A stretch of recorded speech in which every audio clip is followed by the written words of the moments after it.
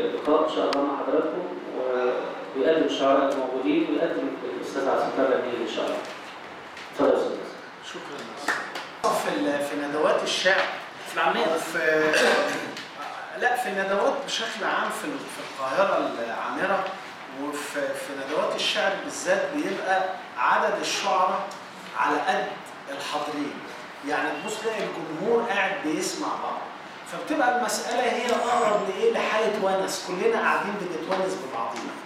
طبعا إحنا كنا في انتظار آه، شاعر كبير ما جاش لسه في الطريق. آه، لما يجي ياخد دوره برضه زيه زي أي شاعر موجود. إحنا دايما بنضحي بال- بال- باللي مني أنا. فإحنا هنسمع لشاعر أنا شخصيا بحبه جدا هو الشاعر أحمد السندباد. يا صابر ومش أيوب. راح تبقى مين في الأنبياء ولا الصحابة المخلصين؟ تبقى إبراهيم علشان رموك في المحرقة. ولا تكون موسى الكليم علشان نفوق جوه الوطن. ولا تكون ابن البتول علشان ما حلمك انصلب. وتنادي نوح ما تلاقي رب سفينته كانت كاملة العدد. ولا عمرك هتكون زكريا وتنادي مريم في المحراب علشان الرزق بإيد الله. وازاي هنا هتقيم العدل؟ من بعد ما قتلوا ابن الخطاب وتنادي الهدهد وانت ما تعرفش لغات وتقول للجن يجيب لك عرش حبيبتك. علشان ما تبدأ من جديد محتاج لمال عشرين قارون محتاج لحكمة ميت جحا. واحمد ربك إن زمايل سجنك ما بيسألوش راح ياكلوا إيه.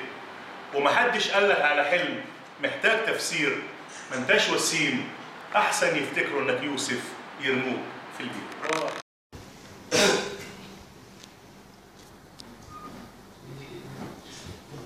ارسم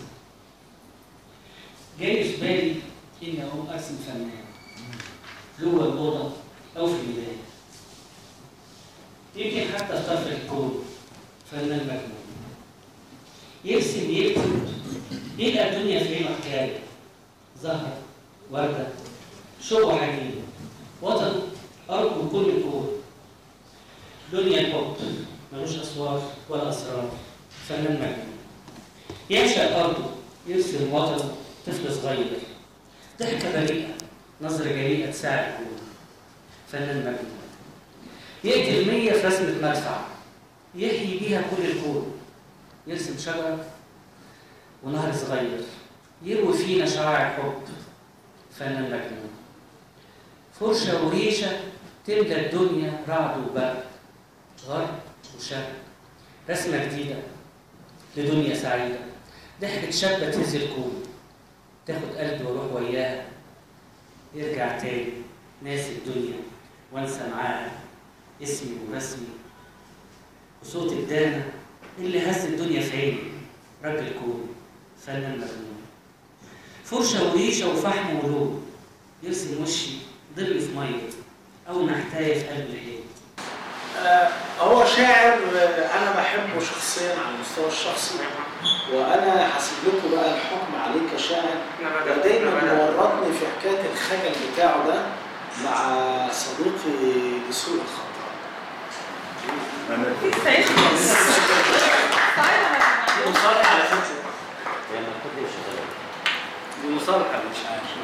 فتلت حبل الوداد قطع الحبيب ورماه هد القوى والحيل نزع الفؤاد ورماه ضحك علي العدا في الريحة والجية وفضلت بعيد منتظر لما يمون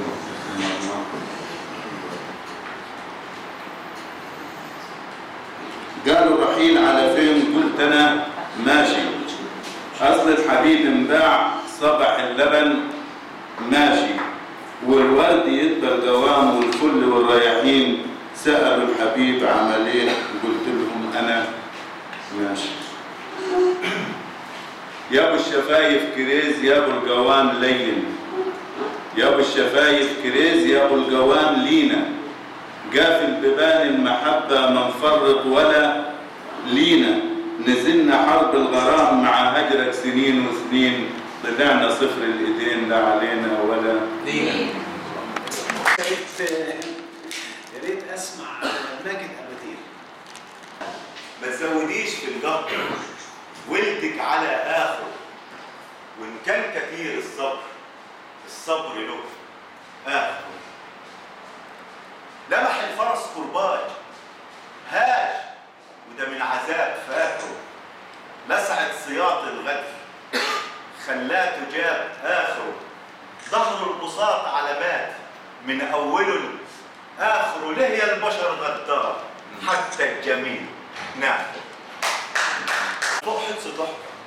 والشجاوة الحلوة كانت شبه أحلام البراء كنت ترمين الشريطة ولما كنت أرفع عينيا لاجل ما امسكها بايديا كنت تاني تسحبيها لسه فاكر ابتسامتك اللي معجونة شجاوة لأجل ما تعلن هزيمتي وانتصاري.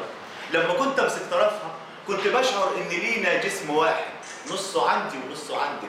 كنت بشعر إن لينا قلب واحد قلب هايم على الشريطة. يجري عندي. لما شد الطرف عندي يجري عندك. لما كنت تسحبيها كنت أشد الطرف لكن كنت أخاف لو تفلتيها. كيف تعيشي بعدها؟ والقلب ده كان على الشريطة. لما كنت أشعر بضعفك كنت أخف الشد حبة. لاجل ما تعودي بسرعة وتملكيها. ويبقى تاني القلب بينا. قلب هايم على الشريطة. يجري عندي. لما شد الطرف عندي يجري عندك. لما كنت تسحبي الأستاذة فاطمة الشريف اتفضل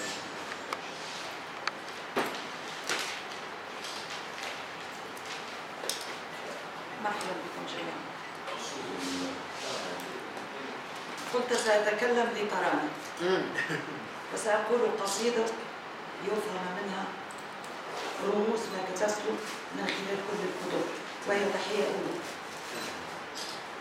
أستأذنكم لا يمكن أن أقرأ وأنا جالس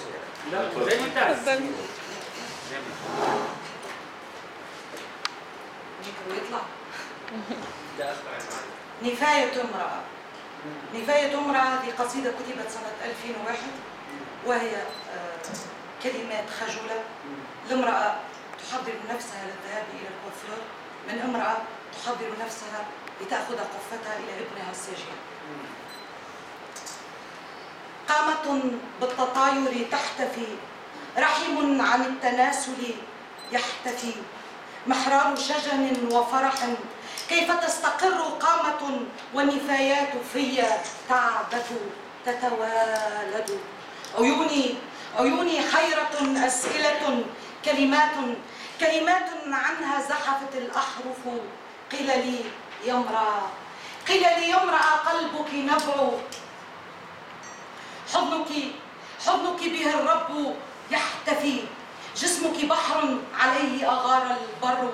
فاغسلي فاغسلي دم العدوان وحبر الخرائط.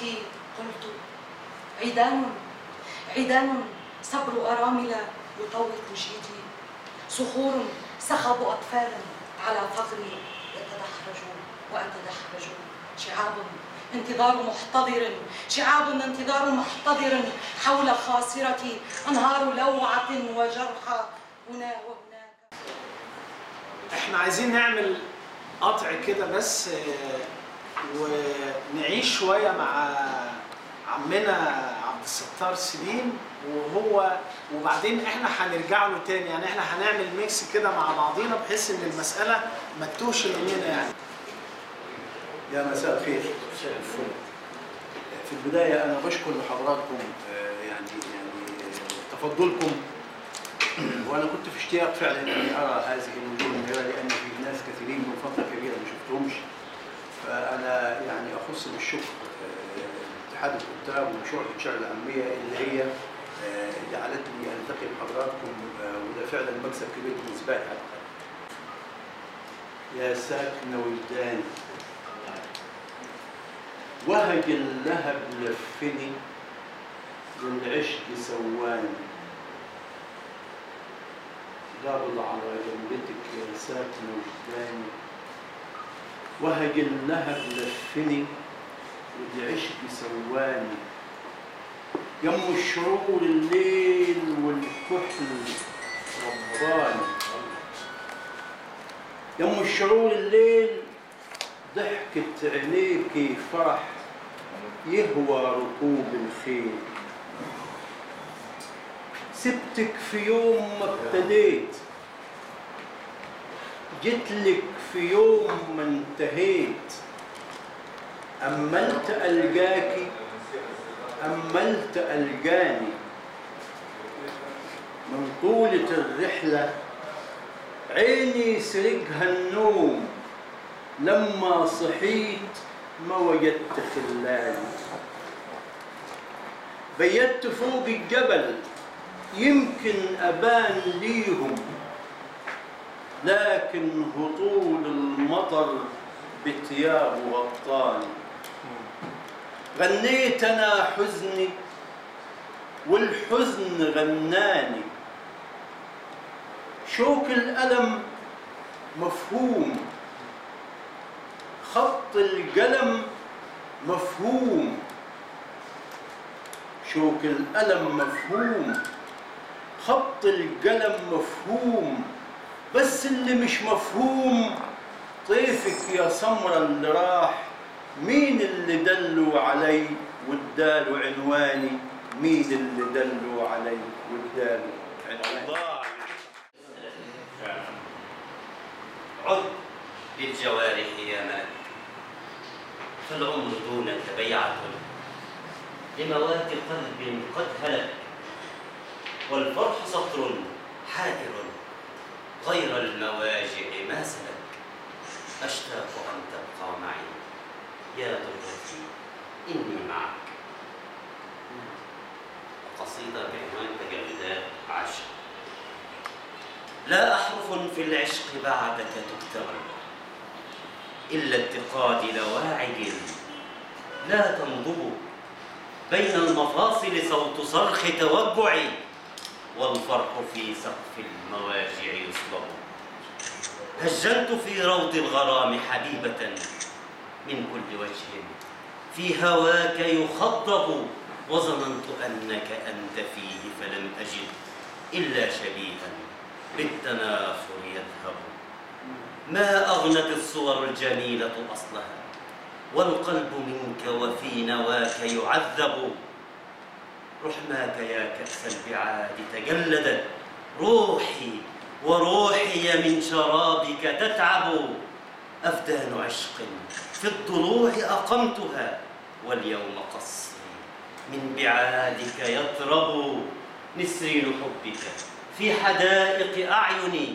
أغصان عشق ما لدونك تنجب. فلي الهيام على جدار توقعي ولك الجداول من عيوني تحلب.